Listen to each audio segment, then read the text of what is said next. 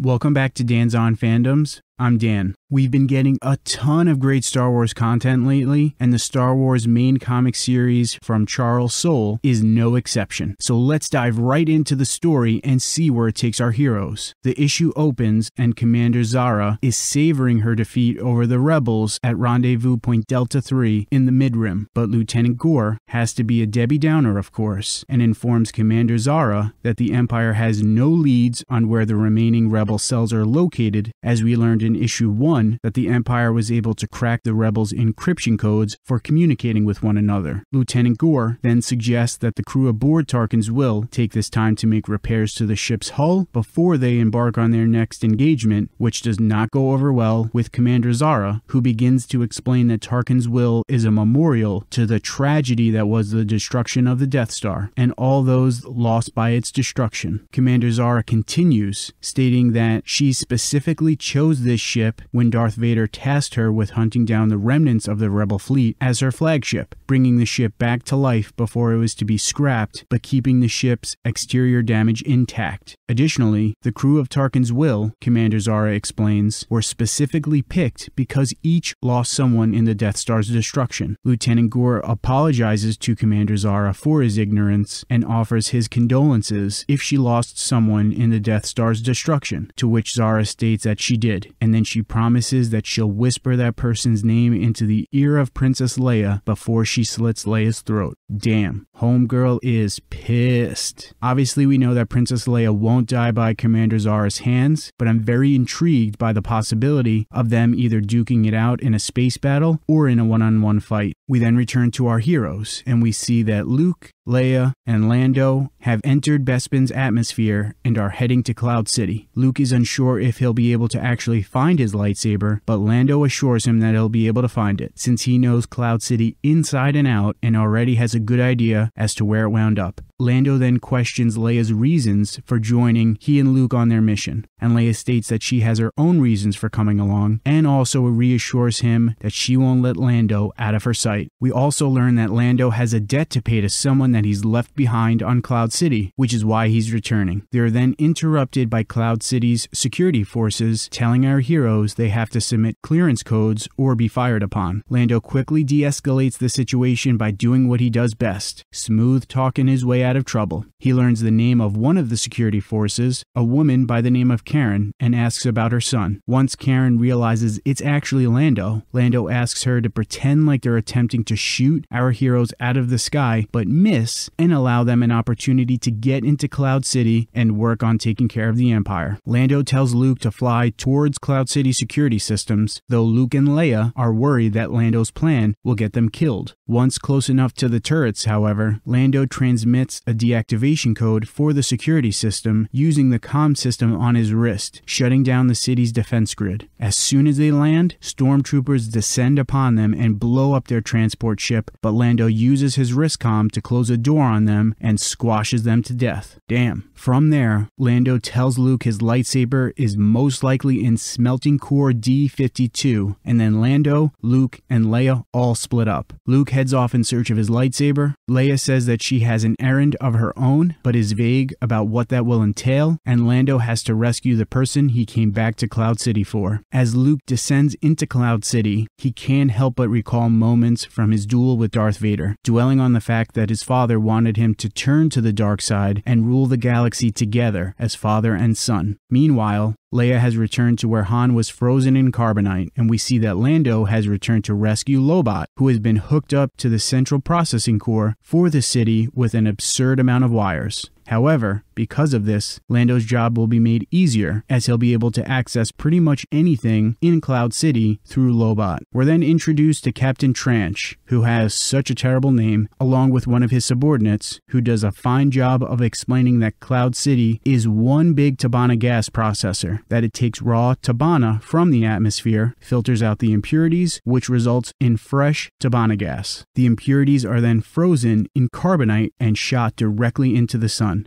Man, if only we could solve our problems by blasting things into the sun. We then learn that our man Lando had Lobot vent out the impurities that were filtered out of the Tibanna and into Bespin's atmosphere, which just so happens to now also be pure and will infect everything that it touches, including their current supply of pure Tibanna gas. Tranche then dispatches stormtroopers to the central mainframe on level 109, which is where Lando and Lobot are. We then return to Leia, who seems to be sneaking around and investigating the carbon freezing facility, but she's soon stunned by a stormtrooper that's found her. As that is happening, Lando finds himself about to be swarmed by stormtroopers and calls Luke to see if he'll come and help him out. But Luke has just gotten to the smelting core and wants to first find his lightsaber. So yeah, good luck with that one, Luke. Meanwhile, Captain Ranch, I mean Tranche, is informed that stormtroopers found Leia, who doesn't appear to be a Bespinite, and Tranche chides his subordinate and tells the ensign to follow protocol, which would be to have Leia transported to the closest Imperial Security Bureau outpost for interrogation. The Imperial Security Bureau was a law enforcement and intelligence agency of the Galactic Empire that was charged with matters of internal state security and ensuring the loyalty of citizens to the the Empire. They served a similar function as the punk ass SS did in Nazi Germany. Tranche then orders the stormtrooper to follow the new procedure on handling issues such as this, and they then freeze Leia in carbonite. And that's where the issue ends. I'm thoroughly enjoying this series so far. I'm still antsy to find out who found Luke's lightsaber, but I imagine that will be answered next issue. Also, it's interesting seeing the stormtroopers interacting, following orders blindly, especially when we think about the fact that they're just carbon freezing people that they suspect could be up to no good without any proof whatsoever. Totalitarian regimes, man. I'm curious how Lando and Lobot are going to escape the situation they're in and how Leia will get unfrozen. Seeing them return to Cloud City was really cool, and issue 4 looks to be another exciting ride. But what did you guys think of this issue? How do you suspect Leia will escape the carbon freezing? And where the hell is Luke's lightsaber in that heap of a junk pile? Let us know down in the comments. If you enjoyed this video, please like and subscribe. Follow Dan's On Fandoms on Instagram, Twitter, Facebook, and Tumblr, all at Dan's On Fandoms. Thanks for watching and stay nerdy.